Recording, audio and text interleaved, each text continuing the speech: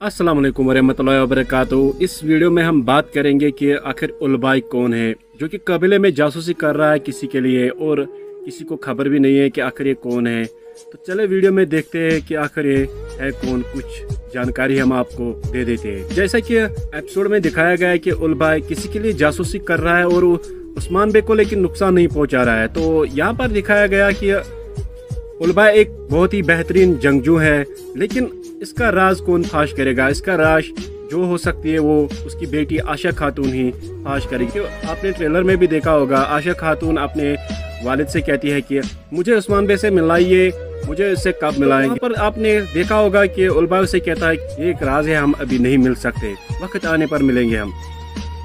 तो यानी कि ये उस्मान बे का दुश्मन तो नहीं होगा। तो लेकिन आप ये भी देख सकते हो कि अर्तगुल गाजी में बेबुलत बे था जो कि अलबस्त का काम कर रहा था। यानी कि वो भी सेम इसी तरह नकाब पूछ था।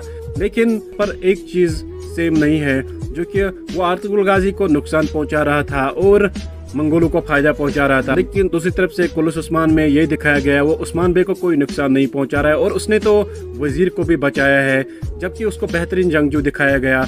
और खबर इतने में सुनने में ये भी आई है कि कनूर बे का साथ ही उलबा ही था, जो कि इसीलिए पीछे पीछे काम कर रहा है, ताकि वक्त आने पर वो उस्मान बे के सामने आए और उस्मान बे को सब सच्चाई बता दे। आपने ये भी देखा होगा कि एपिसोड में इसने वज़ीर को भी बचाया था।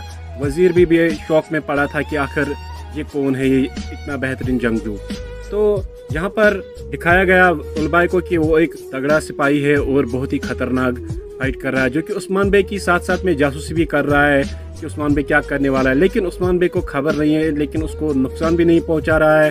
तो इसका मतलब है ये उस्मान बे का आगे चलकर साथ देने वाला है, क्योंकि ये हक का ही साथ ही है वरना ये वज़ीर को नहीं बचाता। एक चीज़ ये भी हो सकता है, या तो ये जानदार बे का जासूस होगा, जो कि जानदार बे के लिए काम कर रहा है। तो यानी कि ये जानदार बे को फ़ायदा भी पहुँचा सकता है। करासी बे का तो नहीं हो सकता, क्योंकि करासी बे ने बेगम खातून को कहा था जासूसी करने के लिए। के लिए इतना ही बाकी नेक्स्ट वीडियो में बताता हूँ, तब तक के लिए खुदा हाफिज।